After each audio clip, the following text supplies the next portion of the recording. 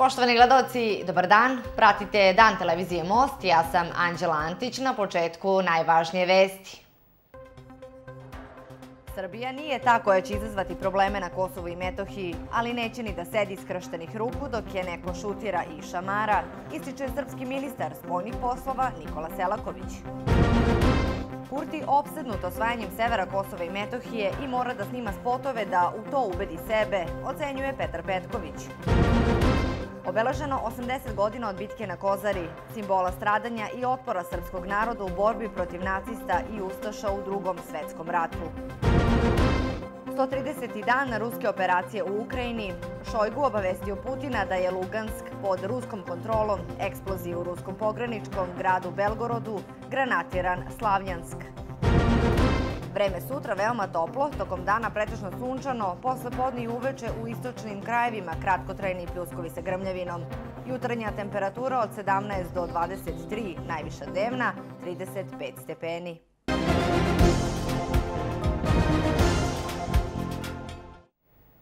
Ministar spoljnih poslova Srbije Nikola Selaković ukazao je da Srbija nije ta koja će izazvati probleme na Kosovu i Metohiji, ali neće ni da sedi iskrštenih ruku dok je neko šutira i šamara. Srbima prete oduzimanjem privatne imovine posle najave Prištine da će od 1. oktobra vršiti zaplenu vozila sa srpskim registarskim tablicama. Znajući naš narod na Kosovu i Metohiji, on sigurno neće prihvatiti da mu se nešto oduzima, bilo milom, bilo silom, rekao je Selaković u intervju za politiku i istakao da se takvim pretnjama našem narodu zapravo nameću oznake koje automatski impliciraju kosovsku državnost. Selaković je podsjetio da je predsjednik Srbije Aleksandar Vučić ocenio da su najnovije odluke Prištine ozbiljna bezbednostna pretnja i poručio da srpski narod ovog puta neće preći preko toga. Vučić je naročito apostrofirao ozbiljno posvećenost dijalogu i konstruktivnosti, iako smo bili suočeni sa promenljivim intenzitetom nekonstruktivnosti Prištine, koja je direktno prouzrokovana naklonjenošću grupe zapadnih zemalja, sponzora njihovog separatizma, rekao je Selaković. Naglasio je da su zapadne zemlje koje su priznale državnost takozvano Kosova iste one koje se danas zaklinju u princip teritorijalnog integriteta i suvereniteta Ukrajine. Sada vidite sa Ukrajinom kako se odjednom istopila ta priča. Ta takozvana nova realnost na Kosovo i Metohiji je stvorena agresijom 19 država protiv naše zemlje, ignorisanjem i zloupotrebom međunarodnog prisustva i sistematskim nekažnjenim zločinima nad srpskim narodom, kao i uništavanjem našeg verskog i kulturnog nasljeđa kojim se niko ne bavi, rekao je Selaković i podsjetio da je posle 23 godine broj Srba povratnika na Kosovo i Metohiji manji od 3 najmanji u bilo kom postkonfliktnom prostoru na svetu. Smatra da smo, po svemo sudeći, jedini koji verujemo da se dijalogom može doći do rešenja i da smo konstantno suočeni sa ultralicemernim pristupom brojnih zapadnih zemalja koje nas ubeđuju da treba ostati u dijalogu, ali da on ne bude usmeren na kompromis ni normalizaciju odnosa, nego na međusobno priznanje. Srbija je međunarodno priznata nezavisna država još od 1878. godine zaključuje Selaković. Direktor Kancelarije za Kosovo i Metohiju Petar Petković istakao je da je kosovski premijer Albin Kurti opsednut osvajanjem severa Kosova i da mora da snima spotove kako bi sam sebe ubedio u to. Koliko je Albin Kurti opsednut osvajanjem severa Kosova i Metohije, pa mora da snima spotove da u to sebe ubedi. Srpske sredine na Kosovu i Metohiji za njega su misaona imenica, a ako mu je lakše da živi u paralelnoj realnosti, tu pomoći nema, istekao je Petković, povodom objavljivanja spota Kurtijevog samoopredeljenja u kojem se tvrdi da su za vreme Kurtijevog mandata na severu Kosova uspostavljeni, kako se navodi, red i zakon. U spotu se, kako prenose mediji, navodi da srpski referendum nije dozvoljen, kao ni održavanje izbora, da su zatvoreni putevi za krijumčarenje i laboratorije za proizvodnju droge, a sever Kosova prikazan je isključivo kao leglo kriminala u koji su ubrojani i rada srpskih institucija i izgradnja naselja Sunčana dolina. Predstavnik nevladinog američkog međunarodnog republikanskog instituta Paul McCarthy rekao je da je proces članstva Zapadnog Balkana u Evropskoj uniji čekaonica bez rezultata, dodajući da je situacija u Ukrajini zaokupirala lider Evropske unije, prenosi reporteri. McCarthy je rekao da je situacija u Ukrajini izazvala izlazak Zapadnog Balkana iz prvog plana i da u ovom trenutku Brisel neće ponuditi nikakvo rešenje u vezi sa članstvom država Zapadnog Balkana u Evropskoj uniji.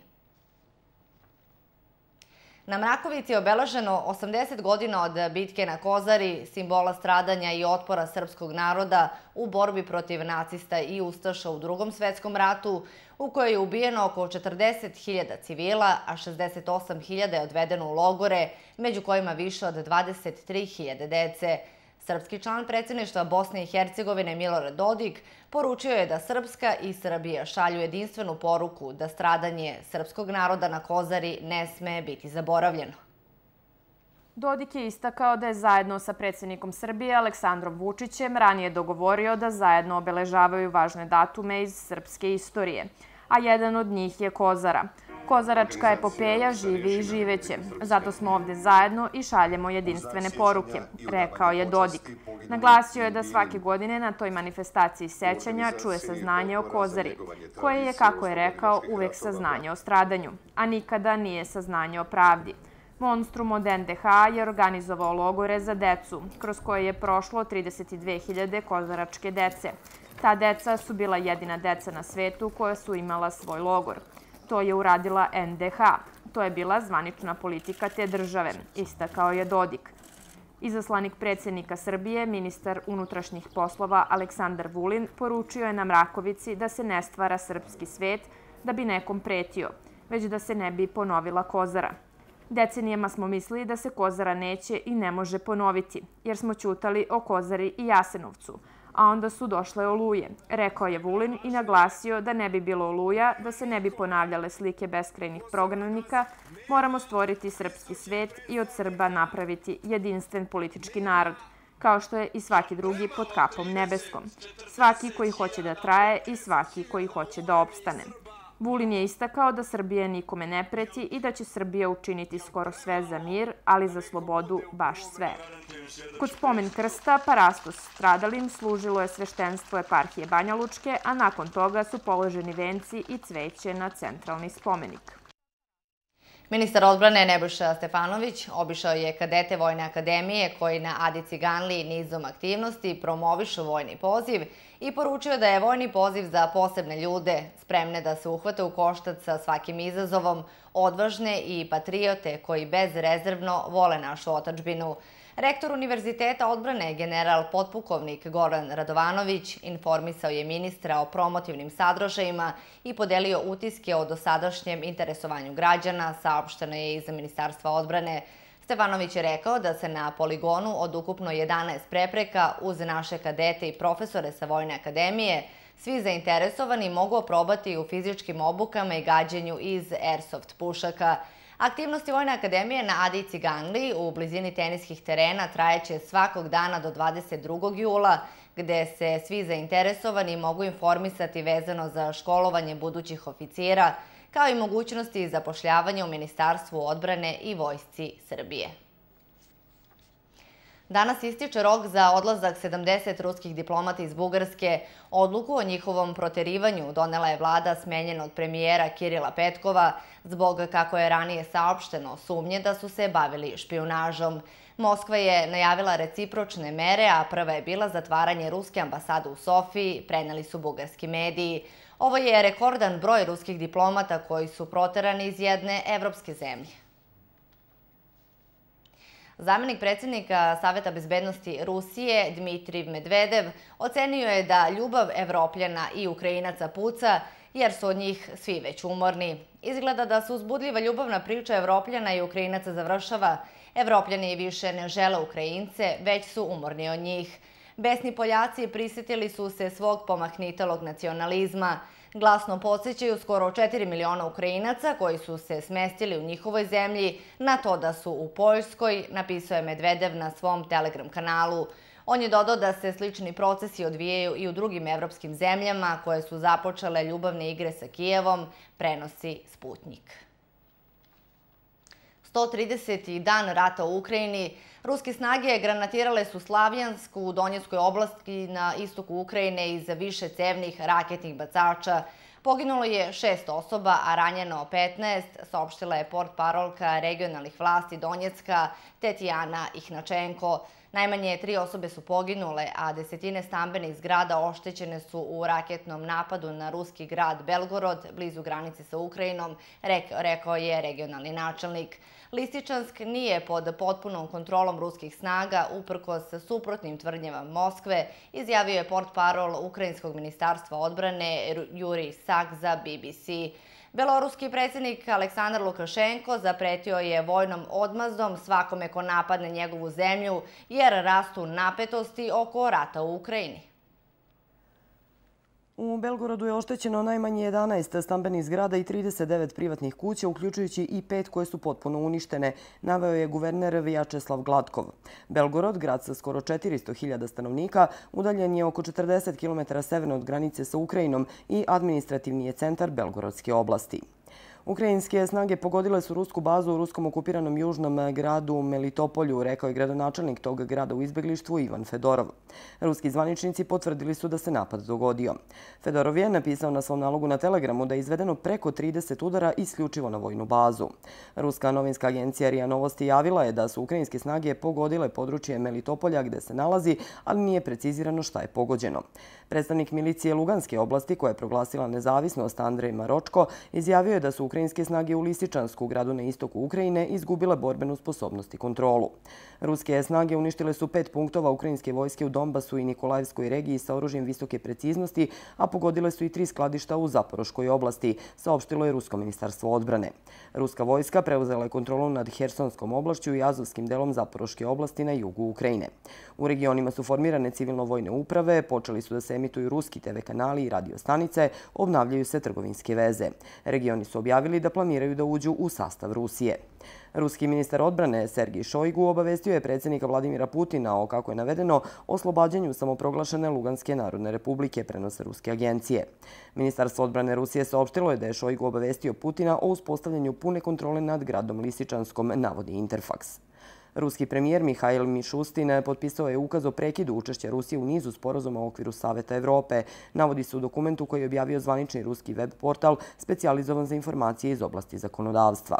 Predsednik Belorusije Aleksandar Lukašenko rekao je da je Ukrajina pokušala da izvrši napad na vojne objekte u Belorusiji pre tri dana, ali da su svi projektili bili presretnuti i poručio da Belorusija ne želi rat sa Ukrajinom.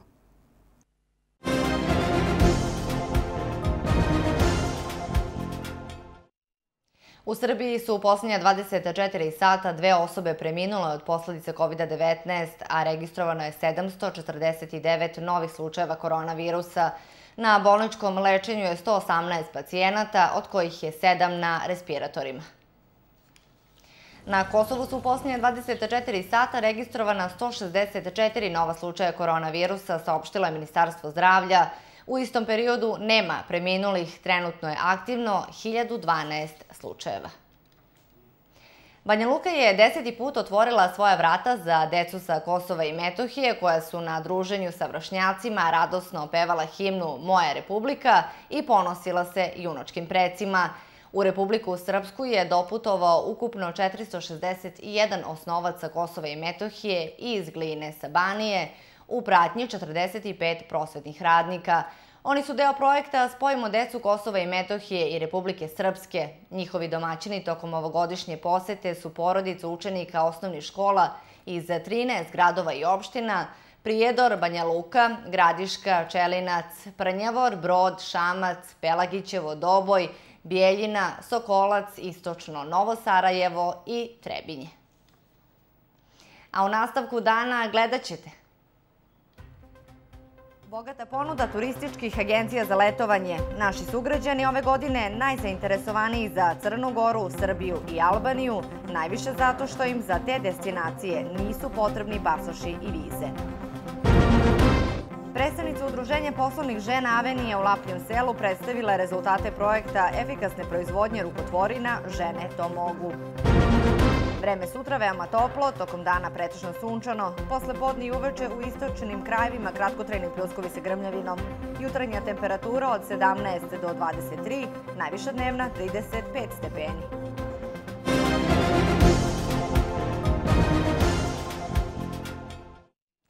Sezona je godišnjih odmora, a ako se još niste odlučili gde na letovanje, možda će vam ponude turističke agencije pomoći. Inače, saznali smo da su naši sugrađani ove godine najzainteresovaniji za letovanje u Crnoj Gori, Srbiji i Albaniji, najviše zato što im za te destinacije nisu potrebni pasoši i vize. Sezona je godišnjih odmora. Pitali smo naše sugrađane kuda će na letovanje. Mislili smo da proštamo do Budve ili Sutomora, vidjet ćemo. Planiramo u Crnu Goru, lakše nam je zbog pasoša, zbog lične karte i tako. Štoko banji, da. Malo da se morim. Jeste bili nek ranije tamo kako? Da, ja sam, deset godina. E, ja sam već bila u Grčkoj, a, juče se vratila, ali do kraja leta otići će još malo do Crne Gore, verovatno. Turističke agencije nude bogatu ponudu zanimljivih destinacija za svačiji ukus, ali i džep, a plaćanje može biti odloženo na rate. Tradicionalno ovaj, godinama najviše naše sugrađane interesuje Crna Gora, pre svega zbog viznog režima, samo zbog toga. Inače, ima velikog interesovanja i za Grčku, za Tursku, za avio aranžmane, a to su Egipat, Turska i tako dalje, Španija i to e, ima interesovanje za Albaniju. Svi ti aranžmani koje sam napomenuo su, ovaj, mogu da naši građani plate i na odložno plaćanje, bilo putem kreditnih kartica, putem čekova građana, administrativnim zabranama. Znači, postoji model i kreditiranja gde mi, deleći sudbinu ovog naroda i sami vidimo kakva je teška situacija ekonomska, pokušavamo da što više omogućimo što lakši odlazak na, na odmor.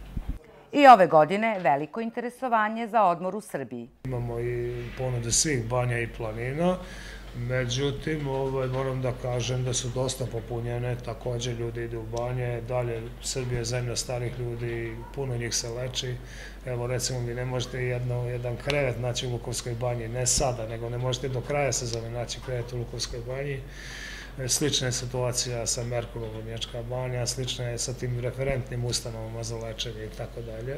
Ima mesta, naravno, od Ivanjice, Zlatibora do, do Evo napominjem Zlatibor, gde je taj poznati popularni hotel gde su sva naša deca bila, ali izvanredan hotel Braća Sekulić, je dao prošlogodišnju cenu i dao je dvoje dece gratis od 1. do 15. jula. Oni koji sebi ne mogu da priušte Odlazak na letovanje od tropskih vrućina osveženje mogu potražiti na nekom od bazena u Zvečanu i Rajskoj banji.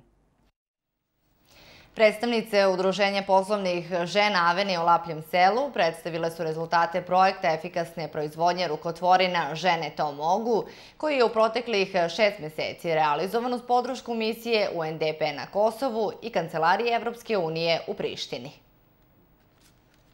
Prevashodni cilj projekta Efikasna proizvodnja rukotvorina žene to mogu je, kako je rečeno, da ženskim udruženjima i organizacijama omogući da njihovi proizvodi lakše pronađu svoje mesto na tržištu, a samim tim doprinesu poboljšanju uslova života u sredinama u kojima one rade i stvaraju. Ukupno je obuhvaćeno oko 32 učesnice, ne oko, nego tačno 32, iz srpske zajednice, romske, goranske i bošnjačke eto, oni su, kažem, prošli sve ove obuke. 50% od njih je bilo na obuci za poboljšanje kvaliteta proizvoda, a ovaj 50% je bilo na obuci za digitalni marketing. Mada su se one ovaj, priključivale i kad je i jedno i drugo, jer su želele da svoje znanje upotpune za sve ono što im je bilo potrebno. Učesnice na ovom projektu ne skrivaju zadovoljstvo onim što su saznale i naučile na unapređivanju posla kojim se bave.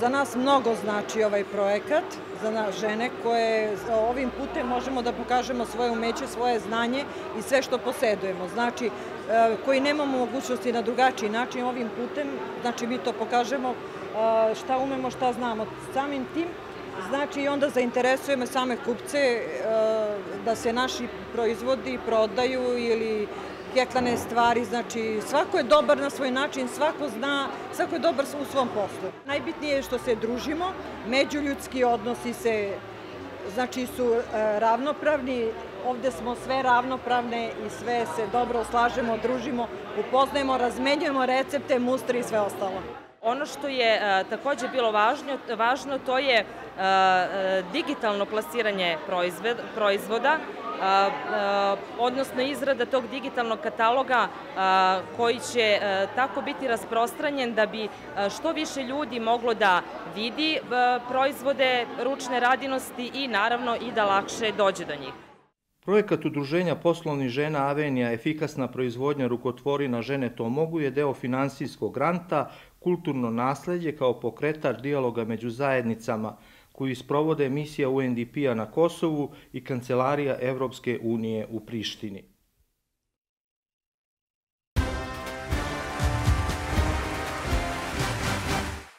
Duelom koji su započeli učešće na svetskom prvenstvu naši vaterpolisti završavaju učešće na svetskoj smotri vaterpola. Srbija igra protiv Sjedinjenih američkih država meč za peto mesto na šampionatu.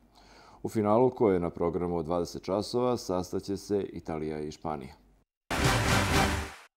Novak Đoković nastavlja odbranu titule na Wimbledonu. Naredna prepreka je Holandjanin koji je 104. na ATP listi. Naš tenisir je apsolutni favorit, ali to treba dokazati na terenu.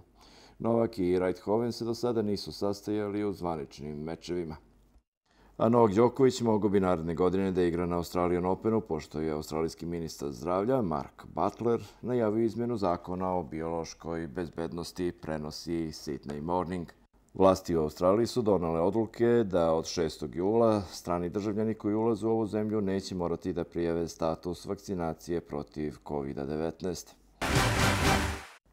Još jednu dobru partiju prikazale su seniorke Srbije i zabeležile osmu pobedu u Ligi nacija. Srpski tim je ranije obezbedio plasma na završni turnir u Ankari, gde će u četvrt finalu igrati protiv Sjedinjenih američkih država. Amerikanke su ligaški deo završile na prvoj poziciji, ali je to mesto žrebom preuzela Turska kao domaćin, pa će Srbija kao sedmoplasirana na Megdan olimpijskim šampionkama.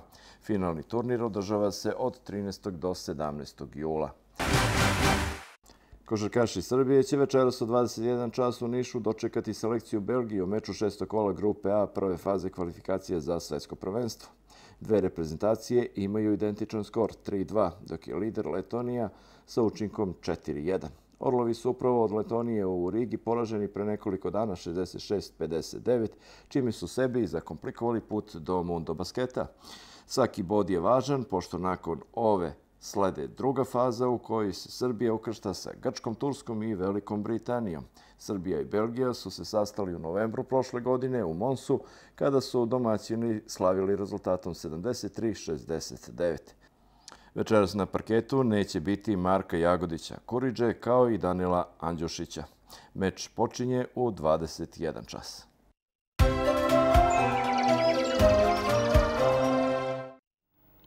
Toplotni i temperaturni rekordi oboreni su proteklih dana ne samo u Srbiji, već i u mnogim evropskim državama. Deset najtoplijih leta su se desila od 2000. godine na ovamo, pa može da se desi da se ove godine obore neki rekordi, kaže za RTS klimatolog Vladimir Đurđević. Radi se o globalnom zagrevanju i ceo svet osjeća posledice toga. U budućnosti se mogu očekivati i ekstremni vremenski uslovi zbog čega treba da se prilagodimo, kaže Đurđević ko ima prilike da izađe iz grada, pošto u gradu postoji još taj dodatni efekt urbanog ostrova toplote koji dodatno podiže temperaturu, posebno u, tim, u centru grada gde, imamo puno betona, stakla i čelika. Tu temperature mogu još nekoliko stepeni da budu više i posebno ove noćne temperature mogu da budu značajno više u centru grada od, od oboda, a znamo da isto u toku toplih talasa možda i najveća pretnja jeste su te visoke noćne temperature kada organizam ne može se odmori da lepo spava, nego kada se znojimo celo noć i onda kada ustanemo ujutru deluje nam kao da nismo ni spavali. A urbano ostrovo toplote, njegov najveći efekt je u stvari u tim noćnim temperaturama tako da grad ne može u toku noći da se rashladi, tako da svi koji imaju priliku treba da, da, ovaj, da, da odu iz grada ako, na nekoliko dana da, da malo, da kažem, promene to okruženje u kome žive. Naravno, treba koristiti i ovaj klim uređe i boraviti u klimatizovanim prostorima umereno. U nekim gradovima u Evropi koji su malo južniji od nas, u Španiji, recimo i u Francuskoj, postoje već organizovana ta, da kažem, skloništa u kojima, u kojima se ljudi koji nemaju klimu uređaj i ne mogu sebi da obezbede, da kažem, te adekvatne uslove gde mogu da provedu noć i to se obično organizuju u nekim fiskulturnim salama, tržnim centrima i tako nekim javnim prostorima velikim, gde jednostavno ljudi se skupe u toku noći da provedu noć da bi onda sledećeg dana koliko toliko bili, da kažem, sveži za, za, za rad. I narednih dana veoma toplo i sunčano vreme. Posle podne se ponegde uz oblačnost očekuju i kratkotrajni pljuskovi. U ponedeljak veoma toplo, tokom dana pretežno sunčano, a posle podne i uveče u brdsko-planinskim predelima uz lokalni razvoj oblačnosti kratkotrajni pljuskovi sa grmljavinom. Vetar slab do umeren, severozapadni. Jutarnja temperatura od 17 do 23 stepena, a najviša dnevna od 32 do 35 stepeni. Utorak veoma toplo, tokom dana pretežno sunčano, a posle podne i uveče nestabilno, ponegde sa kratkotrajnim pljuskovima i grbnjavinom. Vetar slab do umeren, severozapadni. Jutarnja temperatura od 17 do 23, a najviša dnevna od 33 do 36 stepeni. U sredu svežije, promenljivo oblačno, mestimično sa kišom i lokalnim pljuskovima sa grmljavinom. Vetar slab i umeren severozapadni. Jutarnja temperatura od 17 do 22 stepena, a najviša dnevna od 29 do 32 stepena. Biometeorološke prilike neće pogodovati osobama sa respiratornim i srčanim problemima. Meteoropatske reakcije moguće su u vidu razdražljivosti, nesanice i glavobolje. Još jednom kratak pregled najvažnijih vesti.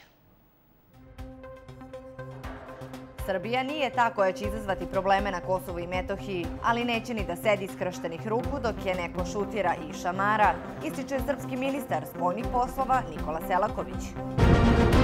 Kurti obsednut osvajanjem severa Kosova i Metohije i mora da snima spotove da u to ubedi sebe, ocenjuje Petar Petković. Obeleženo 80 godina od bitke na Kozari, simbola stradanja i otpora srpskog naroda u borbi protiv nacista i ustaša u drugom svetskom ratu. 130. dan ruske operacije u Ukrajini, Šojgu obavestio Putina da je Lugansk pod ruskom kontrolom, eksploziju u ruskom pograničkom gradu Belgorodu, granatiran Slavljansk. Vreme sutra veoma toplo, tokom dana pretežno sunčano, posle podne i uveče u istočnim krajevima kratkotrajni pljuskovi sa grmljavinom. Jutarnja temperatura od 17 do 23, najviša dnevna 35 stepeni.